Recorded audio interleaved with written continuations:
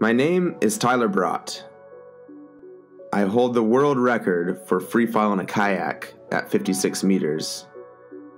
When I saw what Tyler did at Palouse Falls and how he stomped at 57 meters, I just thought, the guy is insane.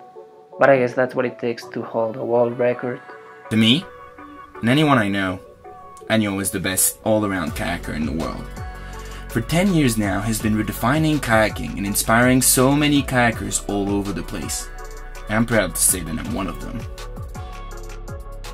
Talking about inspiration, Jules Domine's love for the rivers is just so communicative to everyone. He is the expedition master around here, kayaking the hardest, most remote rivers there are, and at the same time heralding progress in botanical studies. I first discovered Colombia during the Oil and Water Project in 2007. The country was just opening up, and a few years later, Aniol and Jules came, spending time revealing the immense potential of its rivers. Colombia is a destination where there is really no limit for a kayaker. Most of the country has almost never been explored, and most of it has epic rivers with some of the best big water I've ever encountered. They are always so remote, and that's why paddling there is so gnarly. Jules liked that so much that he actually lives down there now. When I first came to Colombia, I was just seeking adrenaline. I got my share of that, of course, but what I discovered and learned on the shores of Colombian rivers was beyond my imagination.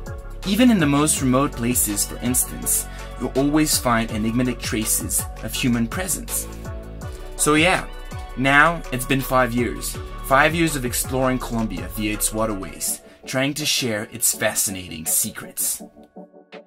Of all the missions we've gone on, there is one place that remains a mystery to us the Chiribiquete. The incredible geological formation of the Chiribiquete stands proud 500 kilometers deep into the Colombian Amazon. The iconic rivers that drain the eastern flank of the Andes have to cut through the Chiribiquete Mountains in order to join up with the Amazon River. As the tranquil mass of water hits the rocks of the Chiribiquete, they go mad, forming the biggest, scariest, potentially runnable rapids in the world. Araracuara and Jirijirimo are powerful displays of nature's forces and contain high cultural and biological values, making them more than just rapids. They are the icons of the Colombian Amazon. We explored this area on two different occasions. We got close, but on both times we weren't able to run the rapids. Guys, we finally made it! 14 days on the Caqueta, and here we are, Araracuara.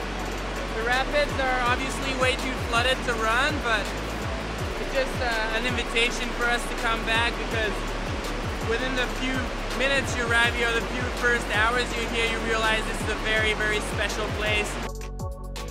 Once you've seen those places, you just can't stop thinking about them. It's like we've only got a small glimpse of their true character, and you always want to go back. So we've decided to return once more and run the rapids, and along the way, experience the full significance they hold within the Colombian Amazon. That is what we want to bring back. Just like my descent at Palouse Falls, this is going to be pushing the sport's limits. But this isn't just free falling. It's one of the most exciting, most dangerous missions I've ever set out on.